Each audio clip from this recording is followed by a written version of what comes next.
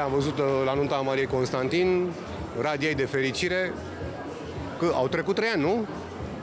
Sau doi ani jumătate. Depinde ce vrei să mă întrebi. Trei ani de când mă mai vopsesc. Ia uite ce mi-a crescut părul. Nu, trei ani de când uh, ești cu domnul Gabi Bătălău. Este un subiect pe care nu o să-l mai dezbat la televizor. Că n-am niciun câștig. Dacă mă plătești, poate zic ceva. Dar așa să vin eu să zic ție gratis niște lucruri ca să tu să vii, tu să-ți faci salariul și eu să nu primezi nimic, nu prea... De ce ți-a zice? Da. Că eu am zis că nu mai zic, că dacă eu zic ceva, se înțelege cu totul și cu totul altceva.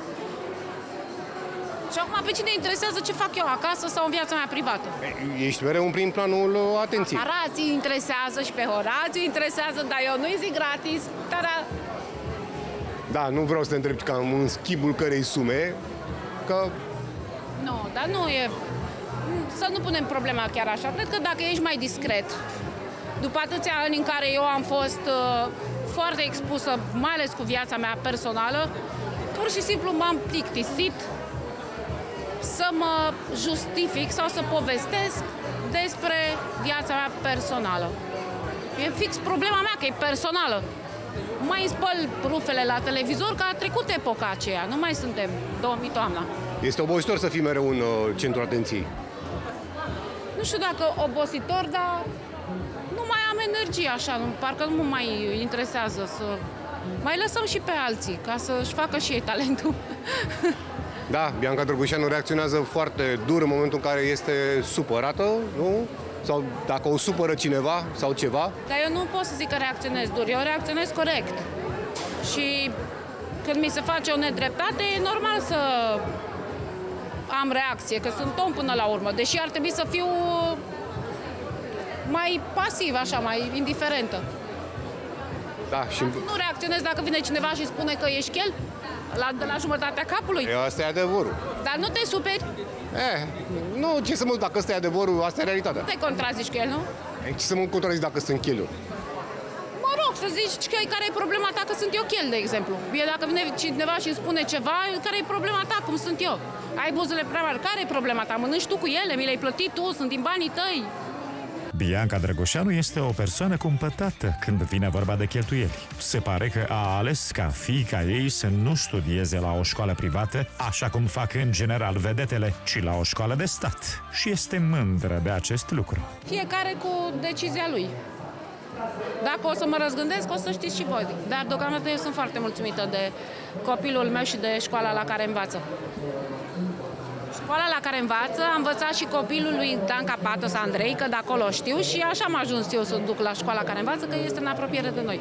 Și știu că e o școală foarte bună. Deși de fel este o persoană asumată și directă, de această dată Bianca Drăgușanu evită să discute despre cea cu care a fost în război mult timp. Procesul pe care l-ai câștigat cu doamna Pătrășcanu. Și chiar vrei să mă strâmb așa pentru orice subiect în care intri? E o întrebare că te deranjează, văd.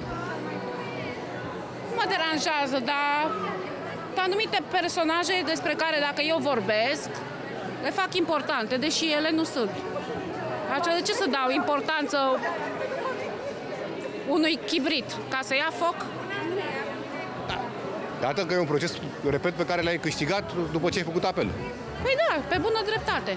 Întrebată despre căsătorie, Bianca Drăgușanu nici nu vrea să audă de așa ceva, semn că i-au ajuns relațiile eșuate și preferă să-și păstreze numele. De ce? Eu dor foarte bine așa. Și, și mă leg la cap fără să mă doară. Mai clădit în mintea ta cât de bine Cum aș putea să fiu imperfectă cu tine O femeie asumată, o femeie puternică, independentă, care știe ce vrea și ce nu vrea. Mi Păi se nu pare vrea căsătorie. normal. Știi Păi, care e da, principalul motiv al divorțului? Căsătoria. Bravo. Vezi? Da. Ai învățat ceva de la mine? Nu știu de la tine, pasa că mi-o tot zici, știi? Și așa și Păi s-a da, sedimentat important e că gluma. dacă ne ajută Dumnezeu în viață, vom trăi și anul ăsta fără să ne... Că... Tu, stai un pic. Tu vrei Da. să te căsătorești? Lasă-mă pe mine zi de că până la mine mai...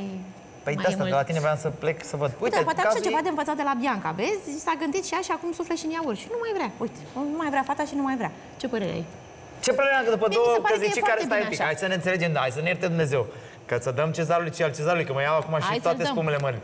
Nu poți să zici că nu ți-a mers o căsnicie după ce tu a doua zi a bătut vântul și ploaia și am ajuns la... Himalaya. Bravo, Sinaia era, dar da, dacă dar ea era... este foarte bine acum cu, uh, Da. bă, cu Gabi, se iubesc, știi foarte bine că au trecut și ei prin uh, tot felul de obstacole și prin greutăți. Mamă, și și în sfârșit câte au- s-au liniștit, sunt bine, sunt asumați, au de mânuță frumos și sunt fericiți și zâmbesc.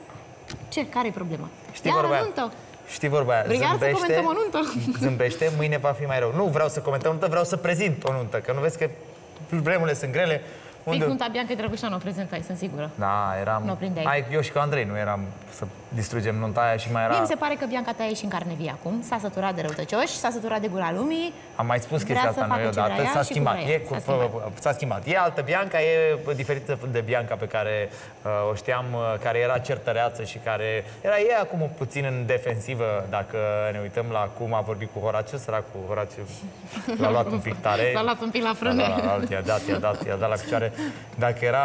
Și uh, Horațiu chiar e blând.